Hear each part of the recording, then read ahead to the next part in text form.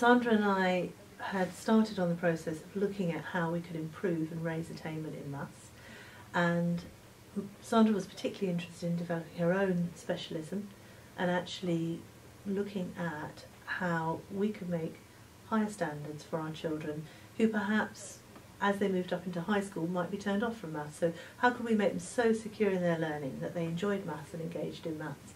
We went along to the, the Maths Hub session and uh, we saw the Singapore Maths project and we thought this could be perfect because it could just marry in your research with new material. Yeah. And we liked the look of the books and said, right, let's have a go at that. So mm-hmm. that's now been in place since January. We, we- obviously, the books arrived and it was a case of, well, it's not at the start of the year, but let's start as if it is the beginning Yeah. of, of the project, so as if the children were at September, realising we'd have to do some quite quick um, work on the early stages of the books, otherwise there was a danger the children might think, I've learnt this before. Yeah. Um, my name is Mr Hogg. I'm a Year 1 teacher at Holbrook Primary School and we're learning to the Inspire Maths course. I would like everybody to open up to page 60. What does page, what does the number 60 look like? What does the number 60 look like? That's 16. Six uh, zero. Was six. 6 and a 0. Page 60. Once you've found it, year 1, can you open it up, pop it on the carpet in front of you? Things in the classroom as you can find that have four sides. Okay? You've got five minutes. Stand up, look around the classroom, and write them down on your whiteboard. If you can't write them down, maybe draw a picture instead. How many sides? Four. Four sides, but are the sides all the same length? No. It has two long sides and two short sides, doesn't it? So, is a square, does a square have two long sides and two short sides? Or all the sides? And the books um, open up the thoughts and ideas of the children in the classroom. Um, as you can see, they're all really engaged, and we had the one comment that they love to work. Um, I think the use of the different materials that we have um, and the concrete representations, it shows the children that these shapes aren't just in maths alone, that they're all over the world. As you can see, we filmed all around the classroom. Um, some children started spotting these shapes in the environment as well. Um, so it's all about seeing things in a mathematical way, but then transferring it to their everyday lives as well the children having their own textbooks to work in, it gives them a sense of ownership. Um, the children have really commented on how they enjoy having their own books with things inside rather than receiving a blank textbook.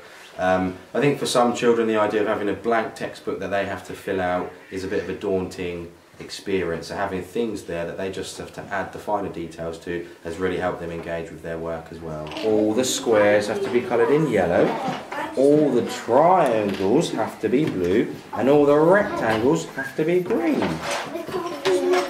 So use all of these shapes here. So go and find, you can stand up and go. Good girl, well done.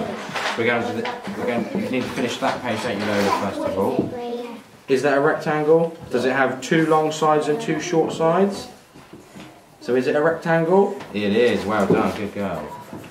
So you might be picking out purpose and then you can live Oh, uh, in. And what are you learning about today, Lola? So we're learning about maths and on this page we have to name the shapes that Yes. are shaded in grey. Well done, that's really good. And what's sorry, Jay? What's the shape you've got here? A Triangle. triangle. How do you know it's a triangle? Because it has three corners and three sides. Well done, that's really good. And what about you, Jake? I can see you've done lots of this already. What's the shape you have here? Circle, because it says name the shapes shaded in grey. And if they're grey, then Can you show me another circle on the page? A triangle. Do we think she's right? Yeah. How do we know that she's right before I show you the shape? Because we know what shape it is. But how do you know what shape it is? How do you know it's a triangle? Because a triangle has. Three corners and three sides. Fantastic. It's a triangle. Right, next one. I think The idea with the, the resources is we don't focus on what they're going to learn because the resources are there. I can spend more time now focusing on how they're learning it and to trigger their ideas and focus their thoughts into what they're learning um, because obviously the planning is there, it's good, high quality work. Um, so there's less time for me spent on what they're learning and more time spent on how they're going to learn it and how to obviously direct their learning in the right direction as well. So we have multi-link cubes, multicoloured, in trays, most schools do. Um, and just that simple thing about pattern. Do you want to explain what you did? Yeah, after going on the first training sessions, um, and it talked about spotting patterns, it occurred to me that it's much more difficult to spot a pattern if you've got about eight colours of multi-link. If you've got two colours of multi-link, much easier to spot the pattern. So simply we've just split up the multi-link so each class has got two colours. And I mean, obviously, they, if they need more colours, they can borrow from other classes. But it makes the pattern spotting easier. That I felt had changed as a result of things that you've been talking to the staff about in staff meetings was uh, the importance of the language and making sure the children very, very secure Yes. in their use of mathematical language. And but the whole Singapore scheme is very good at that. Oh, Oscar, can you use um, some different words? How do we know that a rectangle is a rectangle? Because a rectangle has four sides, but it's different because it's square because it's got two short sides and two long. Fantastic. And a square has how many sides?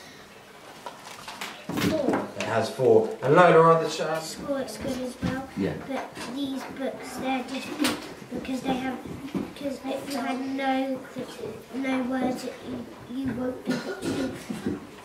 So you like the fact that it's got some words helping you Yeah. say what to do. Well done.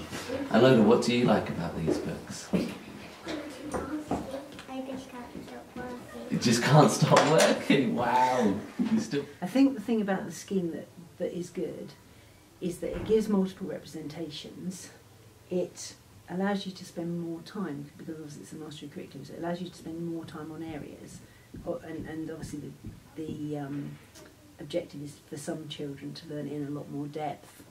And it gives, because it's a slower pace for the children who are struggling, um, they get the concepts. And then what happens is when they move on to the next year group, they haven't got those gaps. The problem, and I think Mr. Hall would back this up, the problem that he has found is for some children it's difficult to read it because it's, it, some of it's a bit wordy. Um, so he's found that he's had to either support the poorer readers um, with children who are more able readers or with adults, um, adult support if he's got that in the classroom. Yeah. Um, But he had also said how it's moved some children's reading levels yes, on. yes, So we had a little discussion yesterday about whether that the, the cohort that we have has actually lent us to be successful because it Yes. not going to have children who are EAL. Um, and if there's a lot of reading and a lot of understanding of, of the text, I can see how that could be uh, difficult for a more diverse group of children. But for our particular cohort, this has worked very well. yeah, it does. And if anything, and I've always felt this actually, that when we moved away from textbooks and teaching, we were missing that opportunity to reinforce reading comprehension. Um, and I think actually children reading the language, it does help them make that link between yeah. some of the descriptive language for maths or the definitions and what they're actually doing. Yeah.